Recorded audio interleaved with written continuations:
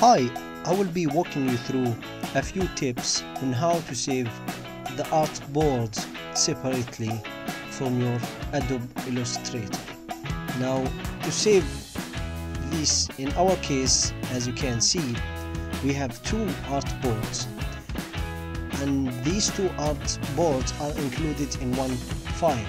We want to save each one separately. What we do, we go to file and then we click on save as and we click we, we choose our destination on our desktop and click save. From this option check this option save each artboard to a separate file.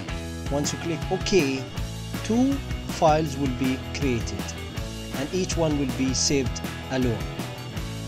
Now the second tip on how to save only what is inside the art board. For example if I want to save this artboard now this side will be included as well which is not desirable. We, we, we want only to save what is inside the artboard dimensions. The, the black color represents the artboard dimensions.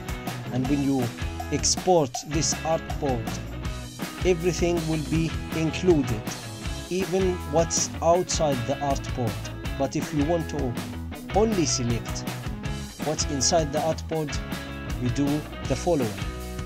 Click on file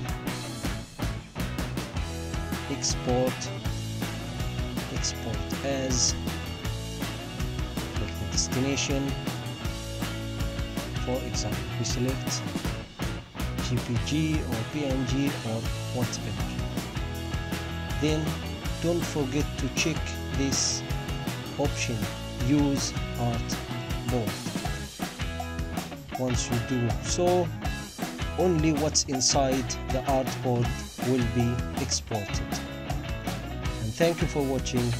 If you find this video helpful kindly help my channel by subscribing I really appreciate that and thank you very much